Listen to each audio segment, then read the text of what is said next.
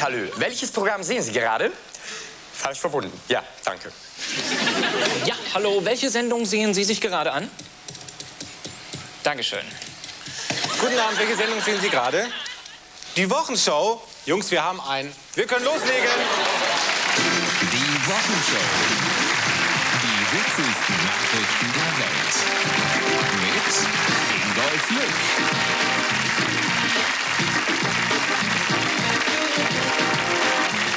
Engelke.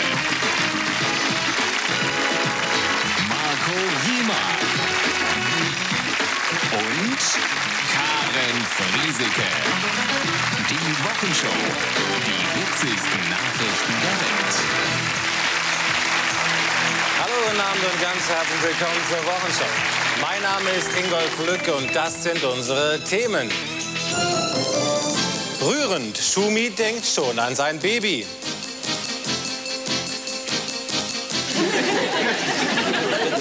Sensation, Camilla Parker Bowles wirbt für Barilla. Aufgedeckt, Dirty Dancing auch in Altersheimen. Und unerwartet, Solidarität mit Peter Graf.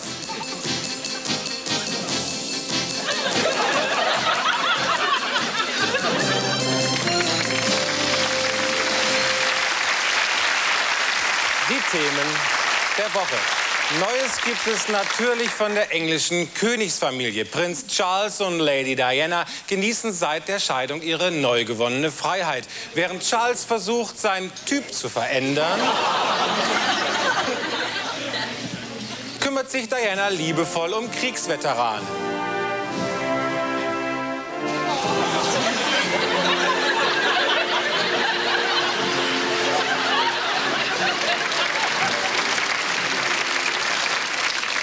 Aber nicht nur in England, auch im Irak geht man neue Wege. Das staatliche irakische Fernsehen hat jetzt die Rechte an der beliebten Western-Serie Bonanza gekauft. Gestern wurde die erste Folge ausgestrahlt.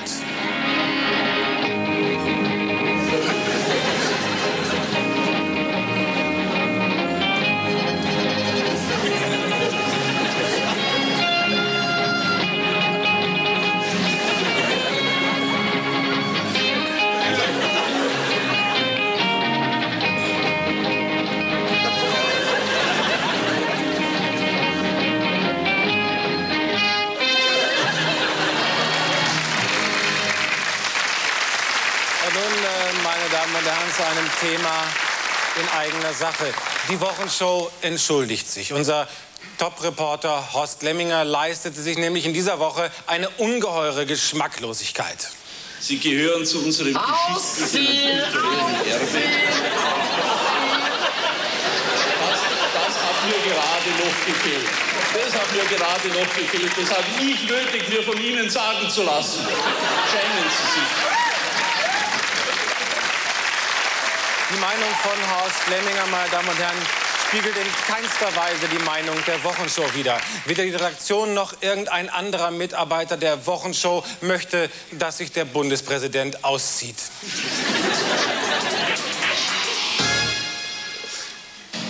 Und möchten Sie vielleicht noch mal unsere ganz neue Spezialität probieren?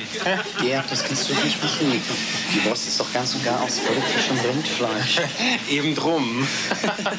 Du weißt doch, was mit britischem... Gell? Die schmeckt lecker. Hm? Verabrede dich mit tollen Typen aus ganz Deutschland hier auf der Line. Trau dich, ruf an. Los. Bundestalk, die Chatline. Sei nicht schüchtern. Hab Spaß. Ruf an und triff tolle Typen rund um die Uhr. Bundestalk, die Partyline.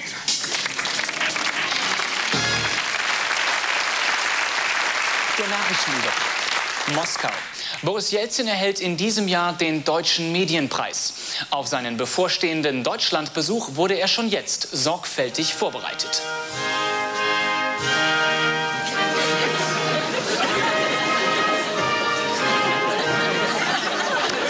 Washington. Der Wahlkampf in den USA geht in seine entscheidende Phase.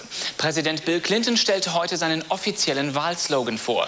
In die Zukunft mit offenen Augen.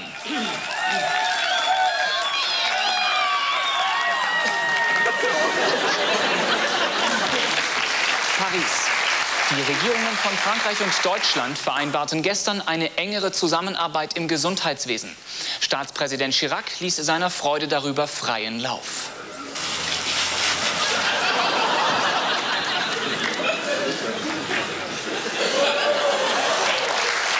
Stuttgart.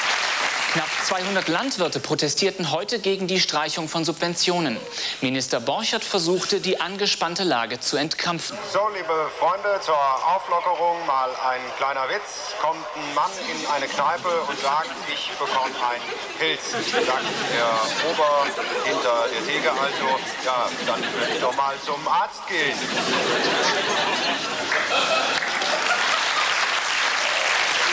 Bonn. Theo Weigel verfolgt einen eisernen Sparkurs. Um den Schuldenberg abzubauen, verschiebt er im Bundestag sogar notwendige Reparaturen. Karlsruhe. Die Gewerkschaft der Polizei beklagt den zunehmenden Missbrauch von Notrufeinrichtungen. Zu den Tätern gehören immer öfter auch alte Menschen. Polizeinotruf, hallo? Hallo? Hallo, melden Sie sich bitte. Hören Sie, das ist heute schon das fünfte Mal. Sie blockieren den Notruf. Sagen Sie was oder legen Sie auf? Pass mal auf, Freundchen. Wenn ich dich erwische, dann kannst du aber was erleben. Verbrecher! Das war der Nachrichtenüberblick.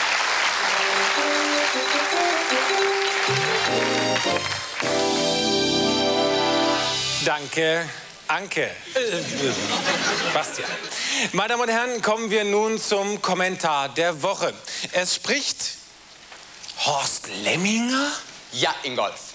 Das Thema meines Kommentars sind Frauen. Vor allem Frauen in Nachrichtensendungen. Viele Leute finden ja, es gäbe immer noch zu wenige davon. Ich nicht. Meine Erfahrung ist, Frauen sind für Nachrichten völlig ungeeignet. Aber Horst, Entschuldigung, dass ich unterbreche. Ja, nehmen wir mal Dagmar Berghoff. Die ist sehr kompetent, hat eine ganz tolle Stimme und jeden Abend Millionen von Zuschauern. Ja, ja. Aber, aber Frauen kennen sich überhaupt nicht aus auf dieser Welt. Ich bin rumgekommen. Welche Frau kann das von sich schon behaupten? Hm? Sabine Christiansen, ja, die war nämlich früher Stewardess und ist sicherlich mehr in der Welt rumgekommen als du und ich gemeinsam. Oder Gabriele Krone-Schmalz, ja, in Moskau und, und, und. Ich glaube, du hast dich da doch ziemlich verrannt in deinem Thema, hä? Ich verrannt? Ja. Das Schlimmste ist ja, äh, dass Frauen Frauen sind. Äh, Frauen werden, äh, Frauen werden schwanger. Ja, schwanger. Wie Anke, unsere Nachrichtensprecherin, schwanger.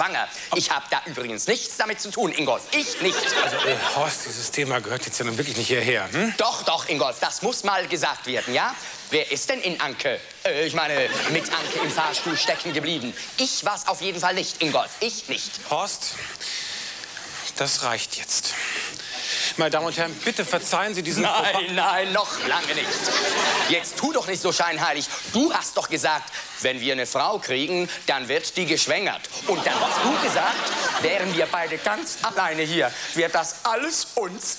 Horst, davon ist nichts wahr. Kein Wort von dem, was du da sagst, ist wahr. Du weißt ja nicht, was du sagst. Schluss jetzt. Von wegen. Anke hat mir alles haarklein erzählt. Und was haben wir davon? Den da, Bastian Pastete. Pastewka. Gesundheit. Danke. Und was willst du jetzt mit dem machen? Vielleicht auch? Das gibt's ja wohl nicht. Jetzt reicht es, Horst. Jetzt reicht es mir wirklich. Moment mal. es reicht vollständig, nicht ja? Nicht mit mir. Ich pack sonst aus. Ich gehe zur Presse, zum Rundfunk, zum Fernsehen. Du bist im Fernsehen, Horst. Meine Damen und Herren, das war der Kommentar von Horst Lemminger. Nach der Pause sehen Sie ein Exklusivinterview mit Fußballstar Toni Polster. Intime Geständnisse von Helmut Kohl.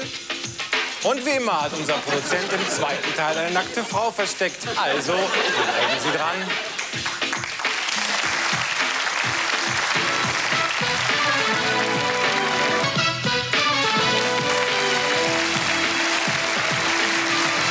Willkommen zurück zur Wochenshow. Gleich sehen Sie die schönsten Momente vom amerikanischen Basketball, Boxen und vom Freundschaftsspiel Deutschland gegen Polen.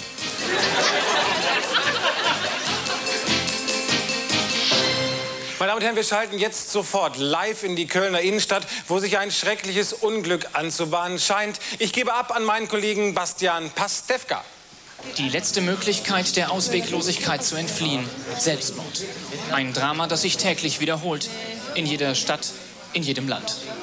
Dort oben auf dem Dach des Gerling-Hochhauses steht ein junger Mann, den seine Freundin verlassen hat. Stefan, das gefällt mir nicht. Das gefällt mir nicht. Das ist viel zu weit weg. Komm, lass mal näher rangehen. Hier siehst du ja gar nichts. Komm, komm. komm. Die letzte Möglichkeit der Ausweglosigkeit zu entfliehen. Selbstmord. Ein Drama, das sich täglich wiederholt. In jeder Stadt, in jedem Land. Dort oben auf dem Dach des Gerling-Hochhauses steht ein... Ju oh, Scheiße! Vorsicht!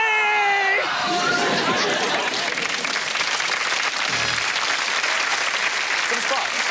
Thema Nummer eins in dieser Woche waren die Probleme beim ersten FC Köln. Erst der Weggang von Torwart Bodo Igner und dann das frühe Pokal aus. Nach der Auswärtsschlappe in Stuttgart sprach mein Kollege Marco Rima mit dem Stürmerstar Toni Polster. In der Kabine herrscht Trauerstimmung.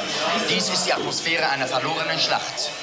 Die Luft ist erfüllt von einem schweren Duft. Es ist der Duft von Männern, die an einer großen Aufgabe gescheitert sind. Der Duft von Niedergeschlagenheit, der Duft von alten Socken. Toni Polster, ein rabenschwarzer Tag für Sie. Gutes Spiel gemacht, elf Meter verschossen. Sicher verdammt ärgerlich, aber als ich mir den Ball aufgelegt habe und angelaufen bin, wusste ich nicht mehr, welche Ecke ich schießen soll. Ja, ja, das sah total lächerlich aus, ja? Naja, letztendlich haben wir gemeinsam verloren. Die ganze Mannschaft. Geht's durch. Heißt das, ihr wascht euch vom Schweiße der Niederlage rein? Wenn Sie das so sehen. Aber wir werden uns zusammensetzen müssen, reden über die Fehler und so. Ja.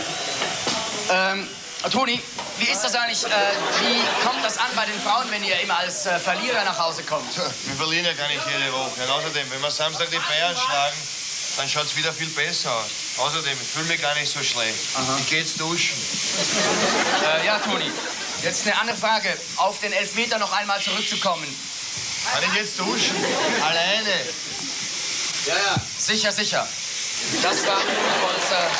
Zurück ins Studio. Dramatische Bilder gab es heute beim siebten internationalen Gewichtheber-Meeting in Koblenz. Zweimal scheiterte der Bulgare Risto Balakov bei dem Versuch, einen neuen Weltrekord im Halbschwergewicht aufzustellen.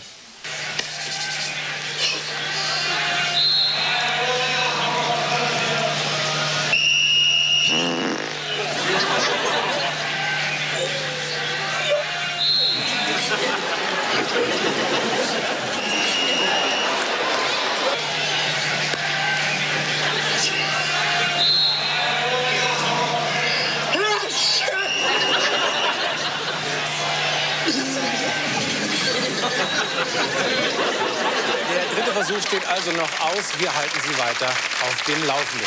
Der Fußballclub Freiburger SC steckt in der Krise. Der Verein steht auf einem Abstiegsplatz und die formschwachen Stars sitzen auf der Bank. Deswegen greift Trainer Volker Finke jetzt hart durch. Hey Trainer, wie läuft's? Wie viel steht's denn eigentlich? Das ist ja zum Lachen, sag ich genau. Ja, nun langsam, langsam hier. Da willst du wohl noch mal fragen dürfen. Mann, Mann, Mann hier. Jetzt ist es soweit, meine Damen und Herren. Wir schalten jetzt live rüber nach Koblenz. Trotz starker Bedenken des Turnierarztes tritt der Bulgare Balakov nun zu seinem letzten und entscheidenden Versuch an.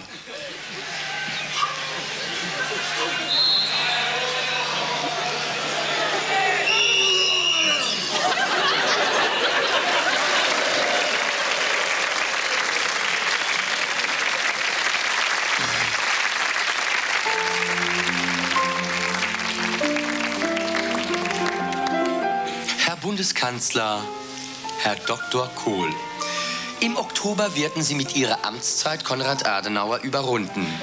Was viele Leute vergessen haben, vor Ihrer politischen Karriere haben Sie sich als Schlagersänger durchgeschlagen. Und Conny selbst war es, der Sie bei Ihrem ersten und einzigen Auftritt in Berlin für die CDU entdeckt hat. Wie war das damals? Ich habe ja nicht mit ihm sprechen können, weil ich von dem Rathaus, auf dem Rathausbalkon in Schöneberg stand und gerade ausgepfiffen wurde von der Menge. Ah ja. Wie hieß denn eigentlich Ihr größter Hit? Wenn du Hahn auf dem Kirchturm sein willst, weht dich jeder Winter. Toll. Heute ein Evergreen. Nach ihren wilden Jahren kam sie aber schließlich doch zur CDU. Man sagt, Adenauer persönlich hätte sie zuerst einmal unter eine heiße Dusche gestellt. Warum das denn? Ich war ziemlich vergammelt. Dann kam auch für sie die Zeit der Liebe.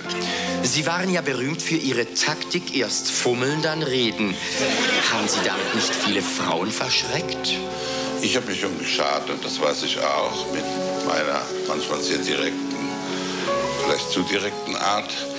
Aber die meisten mögen es gerne. Ja, ich weiß. Als Anführer der sogenannten Busenkrabscher-Bande sind sie ja bisweilen ziemlich, ich sage mal, weit gegangen. Gab es auch negative Reaktionen? Der hat beim helllichten Tag Brügel gezogen. Aber das hat man hingenommen wie das Wetter, das war halt so.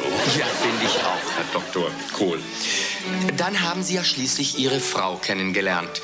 Wie war denn das erste Mal mit Hannelore? Nachts spät im Kanzleramt waren wir ganz allein unten am Rhein der, auf der Mauer gesessen. Es gab da sozusagen den ersten menschlichen guten Kontakt. Ach, schön. Herr Dr. Kohl, Sie sind jetzt seit 14 Jahren Bundeskanzler. Ich sehe vor mir einen der mächtigsten Männer der Welt. Aber wie ist das bei Ihnen? Mit was würden Sie sich vergleichen, wenn Sie sich morgens nackt im Spiegel betrachten? Karamellpudding.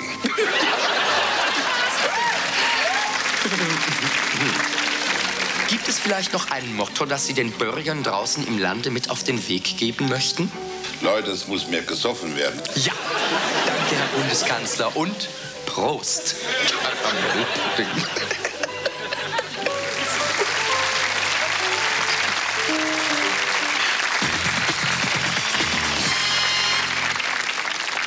Guten Abend. Mein Name tut nichts zur Sache und das ist passiert. Für seine hochschwangere Verlobte Beate hatte sich der 28-jährige Karosseriebauer Bernd Walter ein besonderes Geschenk ausgedacht. Einen Kurztrip in die Großstadt. Gleich am ersten Urlaubstag ziehen die beiden Bamberger los, gehen in ein großes Kinocenter. Vor dem Film will Bernd noch einmal kurz auf die Toilette, doch er kennt den Weg nicht genau. Passiert schildert die unglaublichen Vorgänge, die dieses junge Glück zu zerbrechen drohten. Obwohl es nur noch drei Minuten bis zu Beginn des Films waren, musste der junge Mann seinen Dickkopf durchsetzen. Er will unbedingt auf die Toilette. Dann ist er spurlos verschwunden. Es war schon ein furchtbar komisches Gefühl, als er plötzlich nicht mehr da war. Ich, ich, ich wusste gar nicht, was ich machen sollte. Ich, ich, ich ging durch die Hölle. Kurz vor dem Film noch mal schnell aufs Klo. Um Zeit zu sparen, kriecht Bernd Walter sogar unter dieser Absperrung durch. Und er sagt noch, komm doch einfach eben mit, damit wir uns nicht verlieren. Und ich sag, ich kann da nicht rüber, ich zerreiß doch mein ganzes Zeug. Und, und da sagt er, da drüben muss irgendwo eine Toilette sein, da gehe ich jetzt hin. Und ich sag, da ist kein Klo, bitte bleib doch hier, bitte. Alleine macht er sich im riesigen Kinocenter auf die Suche nach der Toilette. Was dann geschieht, ist zunächst unklar. Als ihr Verlobter auch um halb neun noch nicht zurück ist, informiert Beate die Polizei. Ähm, Ja, wir haben schnell und verantwortungsvoll gehandelt und eine große Suchaktion gestartet, an der mehrere Hundeführer, Polizeihubschrauber und der Kinobesitzer selbst äh, beteiligt waren. Erleichterung dann knappe zehn Minuten später. Wie die Aufnahmen der Überwachungskamera im Foyer beweisen, ist Bernd nicht direkt auf die Toilette gegangen, sondern hat sich auch noch schnell Zigaretten gezogen. Ich habe am ganzen Körper gezittert. Ich, ich wusste einfach nicht mehr, was ich machen sollte. Ich war ganz durcheinander, aber jetzt habe ich ihn ja wieder, meinen lieben Schatz.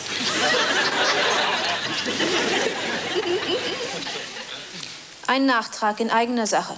Beate hat ihrem Verlobten verziehen. Er musste versprechen, so etwas nie wieder zu tun. In drei Wochen wollen die beiden heiraten. Nächste Woche in Passiert Inzucht im Mutterleib, wenn Zwillinge sich zu sehr lieben. Digitales Fernsehen, meine Damen und Herren, alle reden davon, wir machen es wahr. Mit Hilfe dieser Digibox können Sie nun direkt in unser Programm eingreifen. Sie drücken hier auf den grünen Knopf, wenn Ihnen das Programm gefällt, oder aber auf den roten Knopf, wenn Ihnen das Programm nicht gefällt. Sehen Sie nun eine Deutschland-Premiere, das interaktive Wetter mit Dr. Jakob Kirschner und unserer Yvonne. Hallo und willkommen beim Wetter. Ich bin Dr. Jakob Kirschner und präsentiere das Deutschlandwetter. Und ich bin Yvonne und habe für Sie das Reisewetter. Die Vorhersagen für Deutschland. Ein Tiefausläufer bringt kalte Meeresluft zu uns und sorgt für einen stürmisch-regnerischen Wochenbeginn. Doch dann klart es wieder auf, die Sonne kommt durch und bringt uns wohlig warme Temperaturen. Zur Wochenmitte aber zeigt sich dann der Herbst wieder von seiner kalten und unfreundlichen Seite. Nein, der Herbst wird natürlich schön, golden schön. Mit geradezu tropischen Temperaturen. Wir alle werden schwitzen, schwitzen, schwitzen. Ich wollte sagen, es wird zwar warm, aber nicht zu warm. Es wird nicht regnen und wenn, dann nur nachts. Fräulein Yvonne, das Reisewetter. Das Reisewetter. Rund ums Mittelmeer finden Sie ideale Bedingungen fürs Nachtbaden. Moment mal, ja, so haben wir nicht gewettet. Machen Sie sofort Ihre Bluse. Vielleicht hat er ja recht. Ich mache den Knopf wieder zu. Nicht. Wieder auf. Das war's vom Wetter. Das war die Wochenschau mit den witzigsten Nachrichten der Welt. Wir sehen uns wieder am nächsten Samstag. Auf Wiedersehen und noch ein schönes Wochenende. Und jetzt gibt's die witzigsten Werbespots der Welt mit Fritz Egner. Tschüss. Also gut. Wenn sich umdreht, bist du gewonnen. Na, du geldgeiler Bock?